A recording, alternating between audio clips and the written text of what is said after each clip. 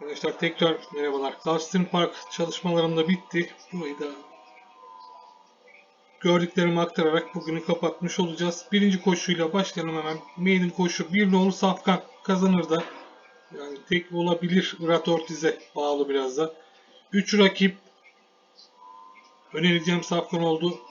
Diğerlerinin yazımını size bırakayım. Yani grup yakın biraz da birbirine bundan sonrası herhangi bir atın gelmesi normal sonuç olur. İkinci koşu şartlı mücadelede 5 nolu Safkan. Bu da tek olur vaziyette start alıyor. Son yarışını kazanan Safkan. 2 buranın sürpriz atı AGF almış durumda. 6 favori ama biraz zayıf kaldı. 5 ve 2'nin yanında. Üçüncü koşu mailin dişi arkadaşlar. Burası da 7 nolu Safkan. Ee, grubun kaliteli atları 7 ve 6. Bunlardan birinin kazanması normal sonuç olur. Ancak grup zayıf. Yani 2, 5 ve 4, 3, 1 diğer atlarda buradan meydandan çıkmak isteyecek bizdeki durumlar burada yaşanıyor. Bir atın kazanması da normal sonuç olur. Yani yeriniz varsa kapatmaya kadar gidin. Ama az atla geçecek arkadaşlara 7-6'yı grubun kaliteli atları olduğunu, bunların çıkmasının normal sonuç olduğunu tekrarlamış olayım. Dördüncü koşu maiden dişi. Burada da 2 nolu safkan. Kazancı olan bir safkan. Maiden'lar arka arkaya geliyor. Çıkmak isterlerse çıkarlar. Bu sayesinde 2 tek olabilir.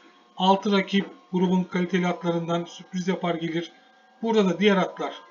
Hani yeni koşan atlar da AGF almışlar. Diğer atların yazımını size bırakıyorum. Beşinci koşu şartlı mücadele 4 nol safkan. AGF doğru kazanabilir. Bir rakibi ciddi rakibi olur ama tek tercihini kullanmak isteyen arkadaşlara da öneririm 4 nol safkanı.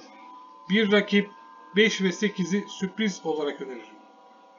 4 1 1 4 bunlardan birinin kazanması normal sonuç. Ve diğer atlar tabii. Diğer atlar da birbirlerine çok yakınlar. Hiçbirine itiraz etmiyorum yani. 6. koşu maiden dişi 7 nolu safkan grubun en kaliteli atı Irat Ortiz şirkete koşmaz ise kazandırır tek olur bu safkan. Yoksa AGF'ler ya da varsa tuttuğunuz diğer atlar. Diğer grubun kaliteli atları 5-6-1. 7. koşu şartlı mücadele 5 nolu safkan. Bu da tek olur vaziyette start alıyor. Tyler'la değerlendirmek isteyen arkadaşlara öneririm. Kazancı yüksek, 5 kadar kaliteli olmayan 3 rakip olur. Bunlardan biri kazanırsa normal sonuç olur. Irat Ortiz'in bindiği 9 burada sürprize imza atma potansiyelini barındırıyor. Onu da göstermiş olayım. Tabi yeriniz varsa ama normali 5-3, 3-5, 5'in kazanması bence normal sonuç. 8. koşu satış koşusunda 4 nolu safkan. Grubun en kaliteli atı. Jockey'ini tanımıyorum ama hani kayba koşmazlarsa ya da baş, başka bir şey olmazsak bence kazanır da.